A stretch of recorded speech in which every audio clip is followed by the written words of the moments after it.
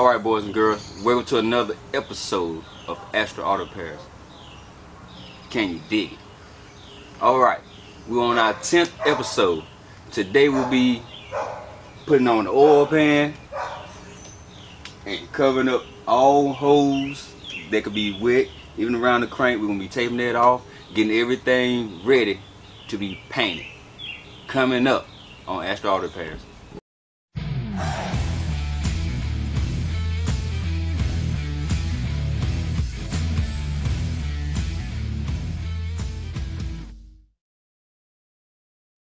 This channel is a member of the Astral Stars, which means we have a zero tolerance policy against the harassment of others.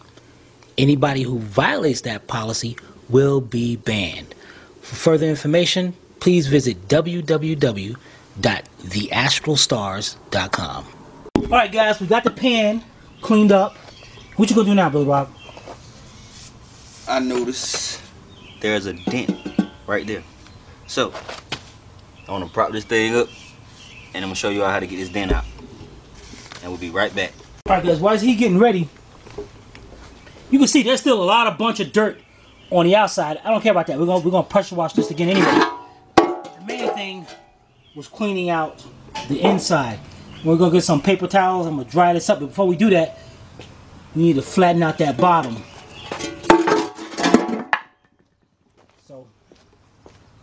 What the heck is he doing? The van is right there. There's tools right there in the van.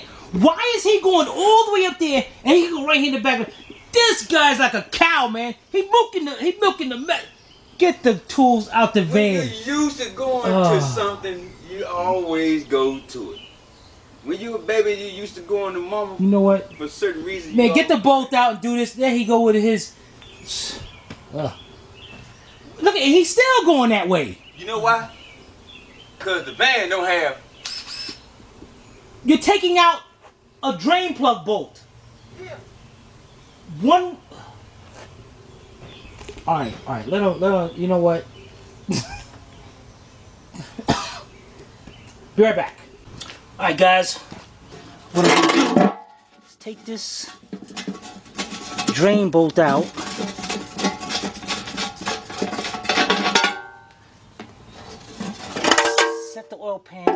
Here. A block of wood be better. Yeah. There we go. Actually, I need a. Should be a little bit higher. You know, let me get some more wood to set up under there. I need that thing to set pretty even. Bear back. All right, got it set in pretty even. And if you look inside here, you can see that big hump right there. I need to take that down. So, what we're gonna do here is get me a nice 4x4 piece of wood, set it in there.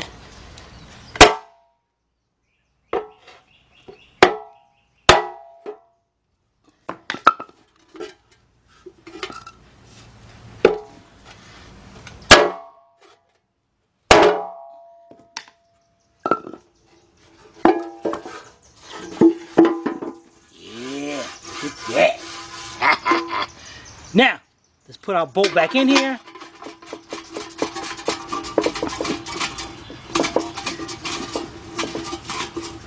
Turn this back over, and let me get some paper towel and clean that up. And then we're gonna spin the engine back around. Right back. All right, guys, we got our engine turned upside down, and we had cleaned this previously, so all that is good, man. Channels right here is good. Everything is good. Got our oil pan up here. Cleaned it out inside. Now what I'm going to do is take my little surface grinder. And I'm going to clean all this old gasket out. And here we go. We got our new gasket and the seals. So let me get that cleaned up so we can get ready to install it. Be right back. Alright guys, the next thing we're going to do is we're going to put our little end, end seals. And this one has a little thing on it. And when you put these on, you definitely have to use a little silicone on the corners. Stop the little, stop the oil from coming through. So that's all you're going to do is just whenever this thing decides to come out, squeeze some silicone right there. Right there. And on the end cap, right there, just a little bit. And right here,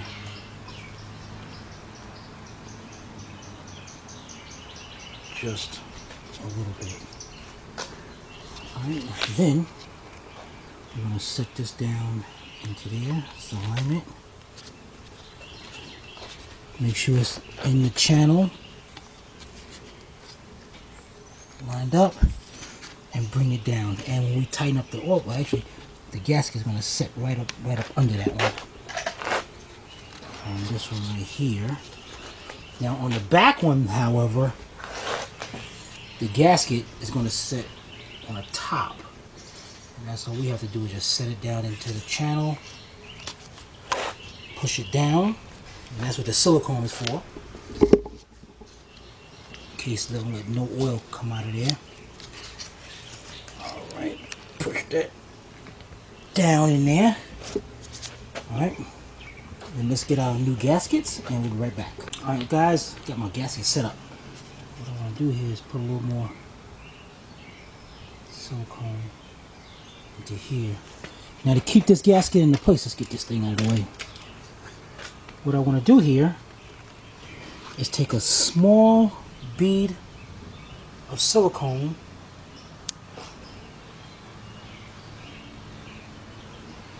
this will help me this will keep that gasket into place.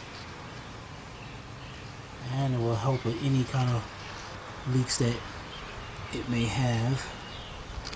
And what I want to do is I'm going to pick this up a little bit put a little bit up under there.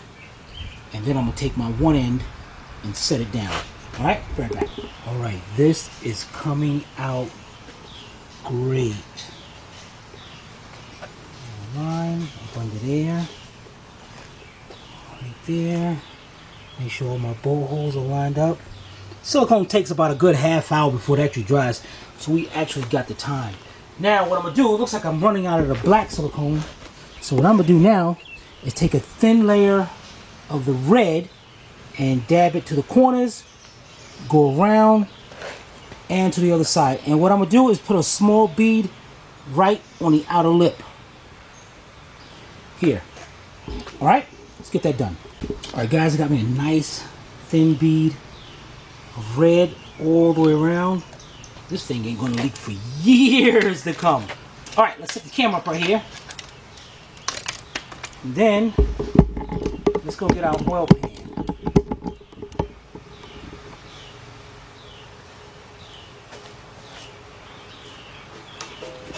Okay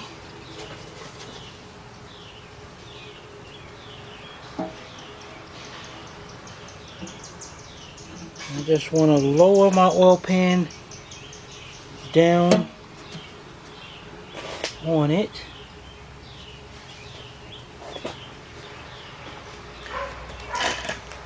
Perfect. Now let me get some bolts. Get these bolts out of here.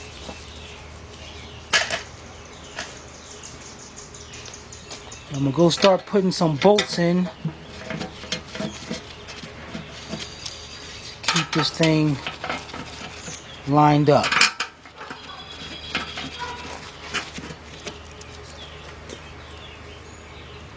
Alright, let's get some more bolts in it and be right back. Alright guys, I got all my bolts in and these are 3 8 bolts. Now this is very this is part is very important because this is cork gasket. If you over tighten it, you will crack it, it will leak. And what you want to do is make sure you start from the center of the oil pan and then work your way out. We got to bring that oil pan down. So, you see it goes in over there. I'm going to go across. And I'm going to go until it just barely stops. And then I'm going to start working around.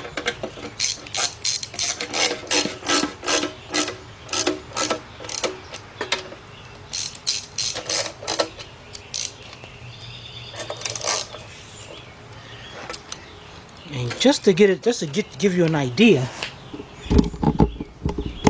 what I'm talking about here.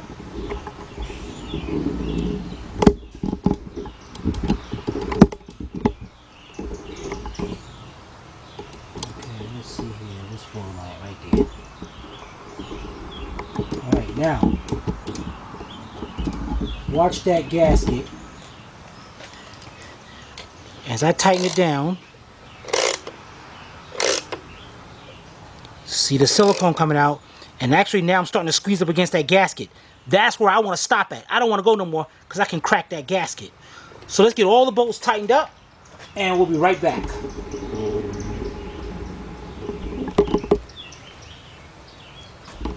Alright guys, there we have it. The gasket is in. Dang, I can't wait to pressure wash this thing. Alright, looking good all the way around. Nice seal, nice in there. Everything is done. Perfect. Alright, the next thing I want to do is turn this back over and we got the old distributor cap. I want to put the old distributor cap back on the engine so no oil gets inside the distributor water when we pressure wash it. And I want to get some blue tape and I want to tape it around here, around the crankshaft, so we keep that sealed up as well. All right, and then we'll give. Matter of fact, while we, when we turn it over, also, we're gonna take off this. Uh, I can leave it on for now.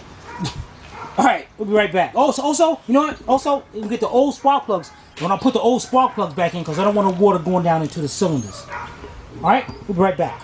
All right, guys, we are ready to pressure wash this thing. Got my spark plugs in. Got my cap on to protect my, um, the module and everything. Got my chain hooked up. Now I'm gonna move the table, and this is what I'm gonna do. The ramp on the back of the truck, because it was a Ryder truck, I'm gonna pull it out a little bit, back the truck up to here, use the engine hoist to set, and hopefully the ramp will hold the engine up. it will support it. and then I'm gonna bring it up to the pressure washer and all, and we can get this done. So let's get this table out of the way and get this all set up. All right, guys, we got the engine up on this hoist. Now, just like I said, the idea of this is to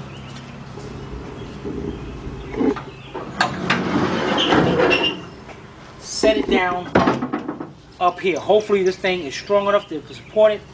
I have no idea, but now I got to back the truck up enough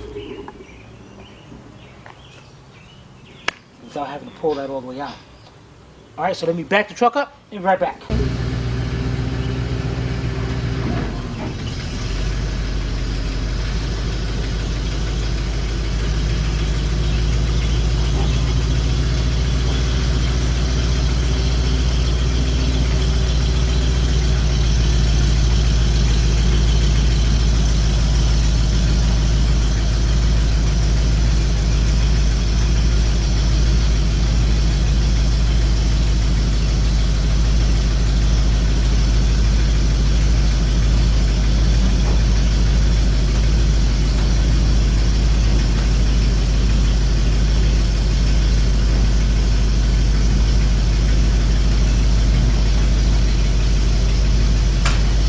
Make sure you look up to see if I'm gonna hit the car. Oh yeah, yeah. That would help.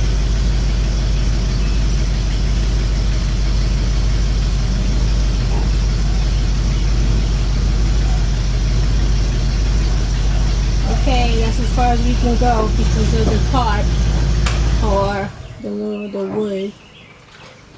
Well, you cut that close, didn't you? No, it's good. The bird said, "What the? What the deuce?" Dang. I guess you can you move the I guess I can. Yeah, move yeah I can. move it more. Move your hoist. There. That's too much. Yeah, yeah, it's good. It's good. Oh, OMG. It's good. It's good. Now, hopefully, hopefully, you know, let me get a block of this.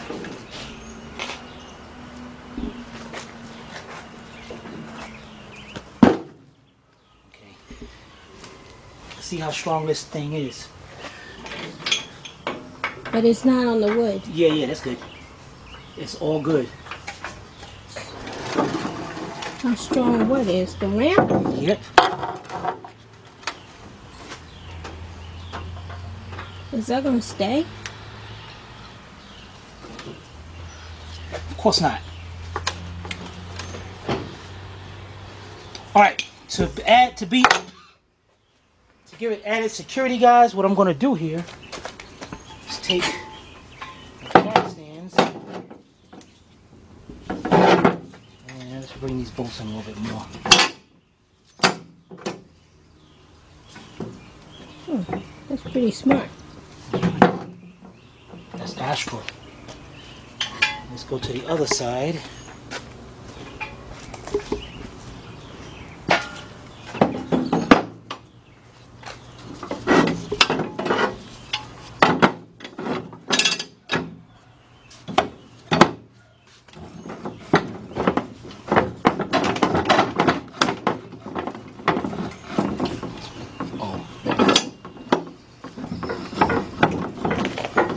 Oh. Can I set the other one up just like that?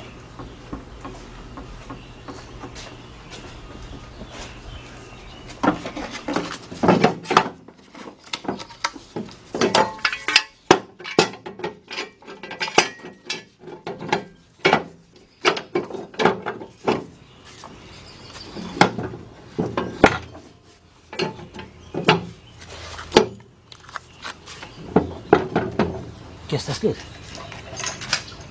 All right, now what we're gonna do? Civi's gonna drive the truck. I am not. Civi's gonna drive the truck. I am not. I'm gonna sit back here. Okay, sit right there and hold the engine. Yeah, okay, you're gonna do that. Yeah, I'm gonna do that. Yeah, tell you what, sit on the other side, Why? because there's no you put your feet on. I can what? You go ahead, you go ahead. Get comfortable wherever you feel That side is looks more roomy. Where are my legs gonna go? This one you can't really sit back, because all this is in the way. All right, Trust me. fine. All right, we'll be right back. Okay, here we go. We're moving along.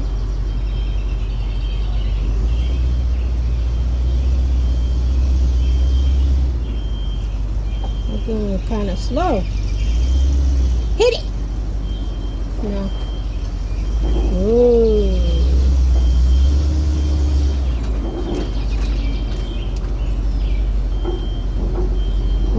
Around in my automobile.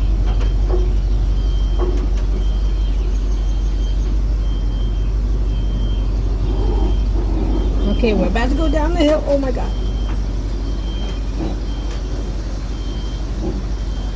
Here we go. Going down the driveway. Oh boy. That wasn't too bad. Whee! Okay. If there's a car coming and hit that ramp, well, oh well.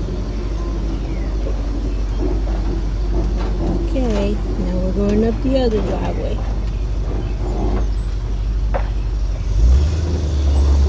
That wasn't so bad. Not at all. The engine didn't move at all. Good job. All right, guys, we got it over here. Sylvia said the engine didn't move much at all, so this is great, man. This is a nice little setup. So, the next thing we do, I definitely I got the spark plugs in it, so I want to pressure wash places that we didn't get to last time because I want to make sure this primer and everything sticks and it don't peel off a week later. All right, so over here we got our pressure washer. You guys seen this before. Gotta prime this up and gonna get this thing cleaned up. We'll be right back.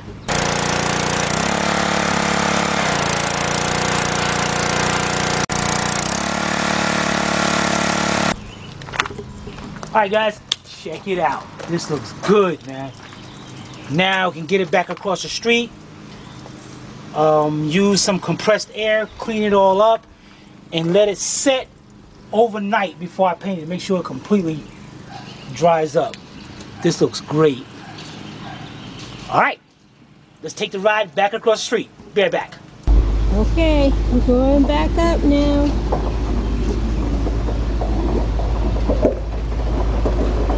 coming? Nope.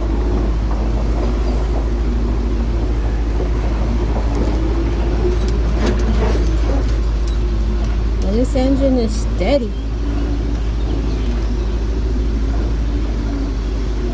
Here we go. Here we go up the hill.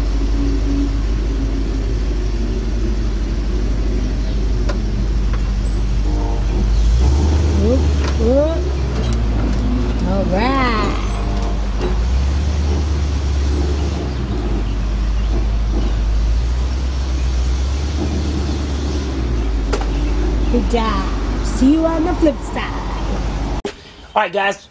Perfect. We got the engine over here. Now, get our hoist over there.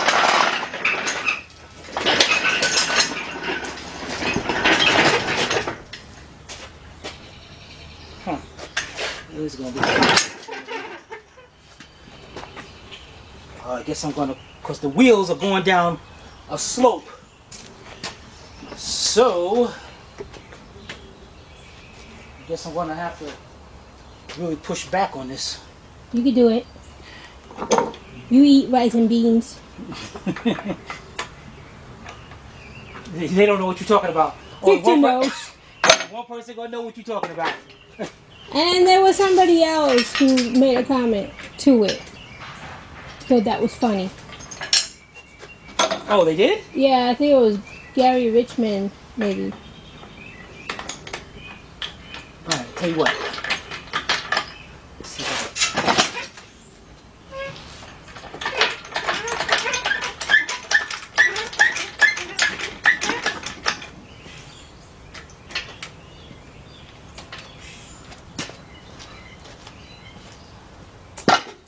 Center of this thing. All right, let's get this hooked up, and I'll be right back. All right, guys. Dang, I'm way down there now. So,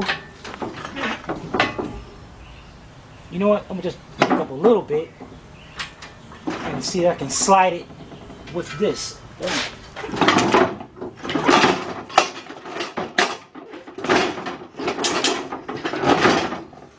There's a whole bunch of noise.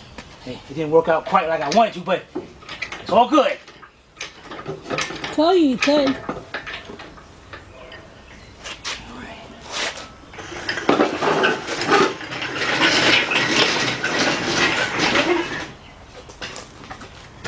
Okay. Lower it down some. And actually, while it's up here on the chain and all, I'm gonna move the truck forward and I'm gonna take the air blower and blow this thing clean. Be right back. All right, guys, got it all blown off, but still, I'm not gonna paint it. I want to let it set for a day, let it completely dry. But in the meantime, let's set it back on the engine stand.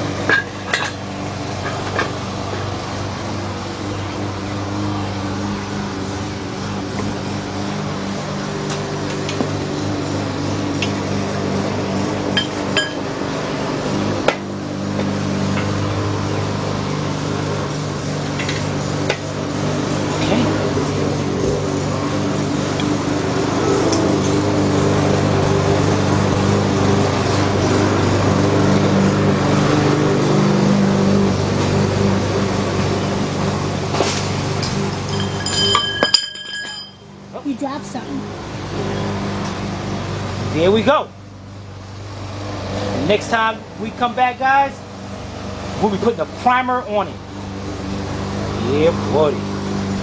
All right, we'll be right back. All right, so this is the end of this episode on this 1977 Buick LeSabre uh, 350 engine. If you guys have any comments or questions, you can post it below in the comment section or you can email Timmy at tim at astralautorepairs.com. Hope you paid attention. If not, watch it again. This is Sylvia from Astral Auto Repairs. If we can't repair it, nobody can. See you next time.